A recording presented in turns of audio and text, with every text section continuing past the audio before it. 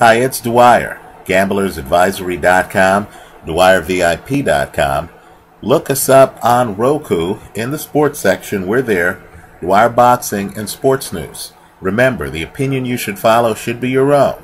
Just consider this video to be a second opinion from a complete stranger online. Let's talk about week three of the National Football League. I have an over under play. I also have a point spread pick. But before we do, for serious gamblers, let me encourage you to research the work of Greg Cosell, right, of NFL Films. He'll actually look at what's called a coach's tape, and he'll actually dissect film on quarterbacks. And his opinion frequently doesn't conform with public opinion, right? So you have a chance to get an edge on the casino, right? Cosell breaks down film like a coach would break down film. Now, you've heard me here online talk about how the San Francisco 49ers this season are overrated, right? They're so overrated, folks, that if you look at the last box score of the home game, the home opener, which they lost to the Bears, and if you look at the number of times Jay Cutler was sacked, and keep in mind, Cutler's back in that pocket a lot in that game. You'll be astonished to learn that the 49er defense only sacked Jay Cutler one time. One time. Right? Another problem the Niners have, and keep in mind, by the way, that pass rush, Aldon Smith is out for seven more games. One month and three more weeks right? Good luck with that lack of a pass rush in the NFC West, right? But another problem they have, quite frankly, and this runs against public sentiment, is the fact that Colin Kaepernick, who is developing into a nice quarterback, isn't quite there yet. Right? He's a great athlete. The problem is playing quarterback requires read and recognition. You have to take a lot of information and distill it. You look at the elite teams in this league and you're going to notice that they all have guys who can operate from the pocket. Right? With perhaps the exception of the Seattle Seahawks. Right? So, my point to you is Greg Cosell has an article that he penned right now that's up on YouTube, excuse me, on Yahoo Sports, right? Where he talks about what the film shows him from that Chicago Bear, San Francisco 49er game. And he points out that Colin Kaepernick is missing open receivers. There throws Kaepernick left on the field. Throws that a Tom Brady or a Drew Brees would have made. Right? Let me also point out, too, that Vernon Davis is banged up. Understand, Kaepernick has favorite wide receivers. Right? Vernon Davis is a big part of the 49er passing attack. Just understand, he's at less than 100%. Right? So if you're analyzing the 49ers, two things you need to consider are the pass rush and the quarterback. Right? Some quarterbacks are just, you know, intuitively able to look at a bunch of passing trees and know who to hit and know how to be what Greg Cosell calls anticipation throwers. They don't throw the ball at you. They throw the ball where you will be. Right? Cosell questions whether Kaepernick has mastered that skill. It's worth a read. Let's get to week three. Right? These are the lines as of 12:14 p.m.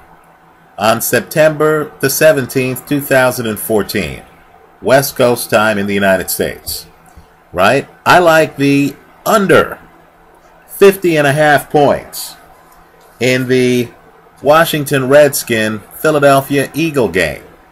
Right? I believe much of the public has been distracted by games outside of the conference, right? Games against teams like Jacksonville and Indianapolis, right? I believe the public also has been distracted by this RG3 dislocated ankle Kirk Cousins story, right? Just understand that right now, two of the best rushing defenses in the entire league belong to these two teams.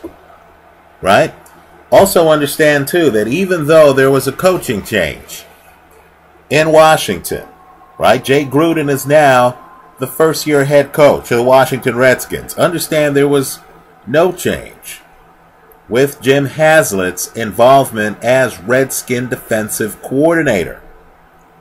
Right? Understand that last year, these two teams played each other, and the Redskins were able to hold uh, the uh, Eagles to 17 points in the rematch. They weren't ready for Chip Kelly the first time around. They were the second time around. Right? LeSean McCoy only had 77 rushing yards in that game. Right? Now, for a divisional game against an opponent you play two times a year, I believe the 50 and a half is a bit high. I like the under 50 and a half in the Redskin versus Eagle game. Now let's switch gears and let's talk about the matchup between, it's another divisional battle, the Baltimore Ravens and the Cleveland Browns. Let me just say this.